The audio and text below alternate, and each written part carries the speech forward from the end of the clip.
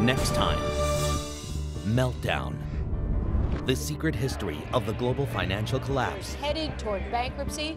With 613 billion. How a small world of financial experts bankrupted the real world for years to come. Not used to living on the street. Just don't know where to turn. And why we're not out of the woods yet. We are going to be in a mess that's going to make today look like a picnic.